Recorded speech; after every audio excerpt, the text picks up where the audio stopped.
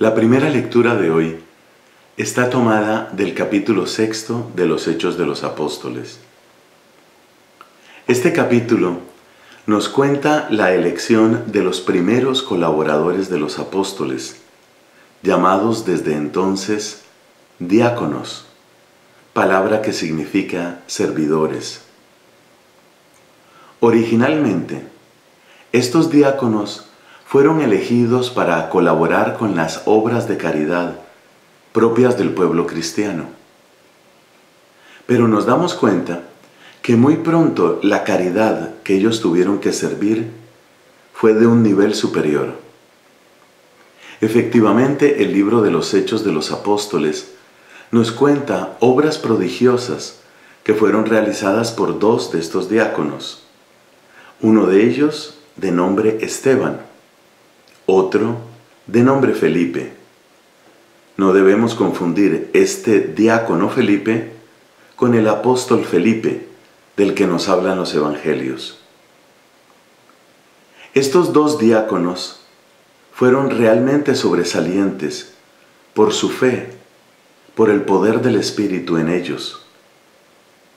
En el caso de Esteban, es especialmente el don de la sabiduría y la fuerza de la predicación lo que destaca. Pero luego otra forma de fuerza, la fuerza necesaria para soportar el martirio. Estamos hablando, en efecto, del primero de los mártires de nuestra Santa Iglesia Católica. San Esteban es llamado por eso el proto-mártir, porque la palabra protos en griego significa precisamente el primero. Esteban, el proto-mártir, nos ayuda también a entender qué clase de persecución han sufrido y siguen sufriendo, seguimos sufriendo los cristianos en este mundo. Es un proceso que se va desarrollando paso a paso.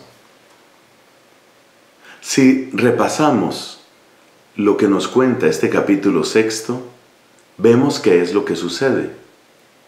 Primero hay una discusión. Algunos judíos que no creen en la resurrección discuten con Esteban. Esa es la primera fase, la discusión, entrar en discusión.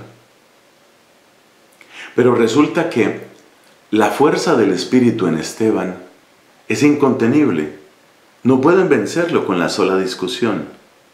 Entonces viene la segunda fase, la calumnia. Vamos a decir que este dijo, se trata de algo inventado, es una calumnia.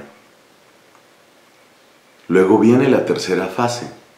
No basta con regar unas cuantas mentiras, es necesario producir alboroto, es necesario producir escándalo, es necesario sacudir a la opinión pública.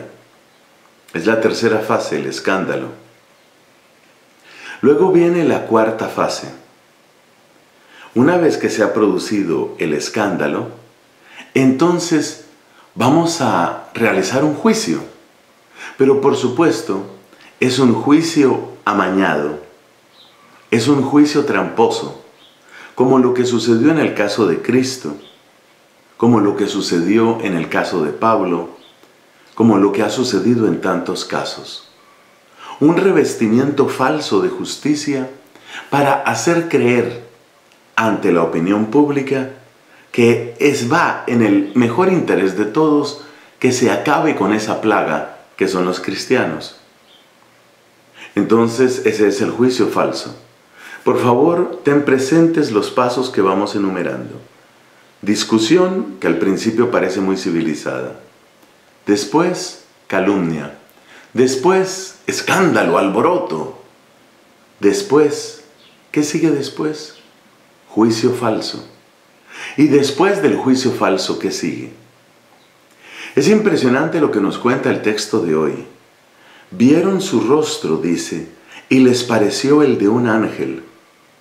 Es decir, que Dios les estaba dando pruebas, pruebas de quién era Esteban, pero rechazaron esas pruebas.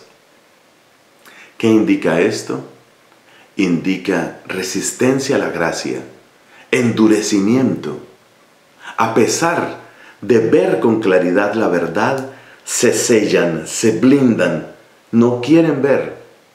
Después va a suceder que tampoco quieren oír. Por eso cuando llega el martirio de Esteban, se tapan los oídos. No quieren ver, no quieren oír. Endurecimiento ante la gracia. Y después, ¿qué viene? Ira, ira incontenible. Ira que ellos no saben de dónde viene. Nosotros sí. Viene del infierno, viene del diablo, que está tratando de extinguir la obra del Evangelio. Y luego el séptimo paso, la tortura y la muerte, la condena. Estos son los pasos típicos de la persecución. Y es necesario conocerlos bien porque también en nuestra época suceden. Yo no me voy a considerar ningún mártir, pero a mí me ha pasado que uno intenta hacer una conversación decente y la gente empieza a calumniar. Cura pederasta, no sabes nada de mí. Yo no tengo, gracias a Dios, no tengo nada que ver con ese crimen. Y sin embargo viene la calumnia y viene el escándalo y el no querer oír y de una vez te insultan.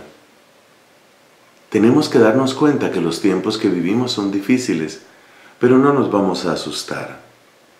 El Señor, el Rey de la Gloria, está con nosotros.